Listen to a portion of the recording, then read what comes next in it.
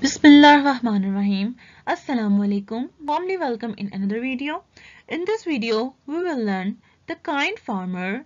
It is unit 23 from class 3 Modern English. Allah always take care of the people who thank him for his blessings and who are kind to others.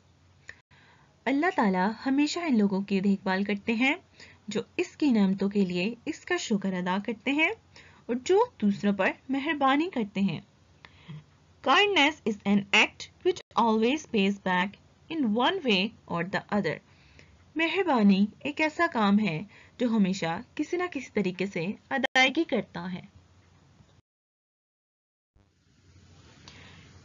Here is the story of a kind farmer. यहाँ एक मेहरबान किसान की कहानी है। His name was Asif. इसका नाम आसिफ था He was a poor man who would work hard at his land but still could not earn enough money to live a comfortable life.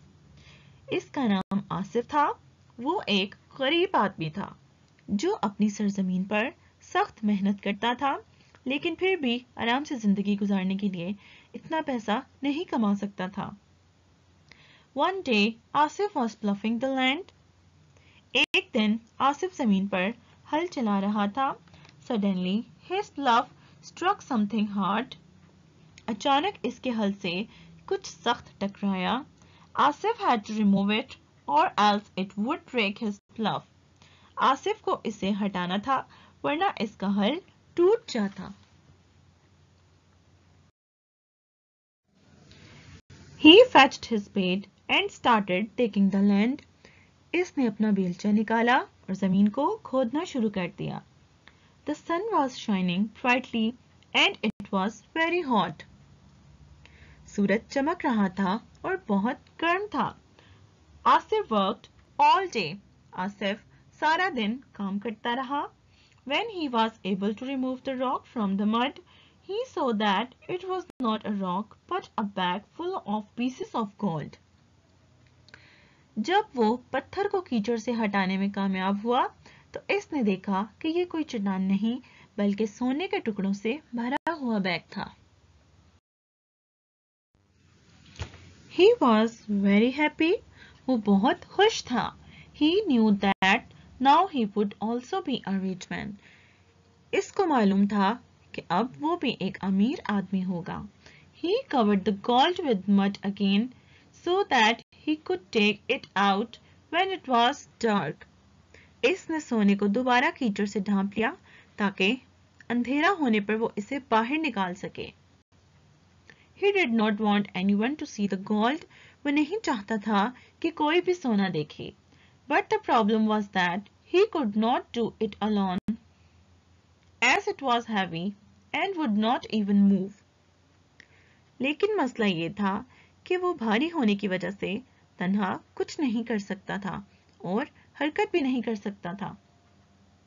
The next day he try to get the gold out of its place but again it did not move दूसरे दिन इसने सोने को अपनी जगह से निकालने की कोशिश की लेकिन फिर से हरकत नहीं हुई।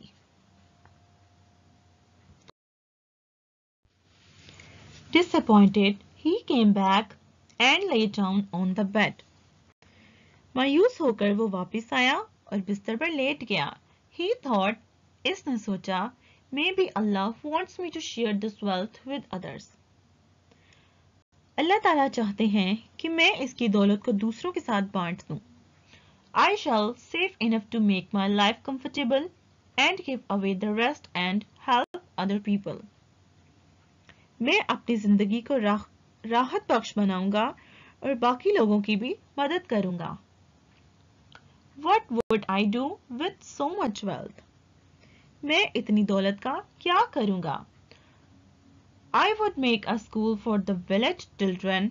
I shall help my friend Nazir to buy bullocks. मैं गाँव के बच्चों के लिए स्कूल बनाऊँगा मैं अपने दोस्त नजीर को बैलों की खरीदारी में मदद करूँगा next night he again went to the field अगली रात वो दोबारा मैदान में आ गया। He try to pull out the gold and it easily came out इसने सोना निकालने की कोशिश की और वो आसानी से बाहर आ गया। He was now sure that Allah had given him his wealth to share it among all लिहाजा अब इसे यकीन हो चुका है कि अल्लाह ने इसे ये दौलत सब में बांटने के लिए दी थी He took gold home and put it in a safe place. सोना घर ले जाकर उसने एक महफूज जगह पर रख दिया He then bought himself a new house. इसके बाद इसने खुद के लिए एक नया मकान खरीदा He bought more land and a pair of bullocks. इसने मजीद ज़मीन और बेलों का एक जोड़ा खरीदा then he help the needy people of the village तब इसने गाँव के मस्कीन लोगों की मदद की। He built a school for children इसने बच्चों के लिए एक स्कूल बनवाया। He made a home for old people इसने बूढ़े लोगों के लिए एक घर बनाया। Everyone in the village became गाँव में सब खुश हो गए। All, Asif was the happiest as he had shared his wealth with everyone and was now living a very comfortable life.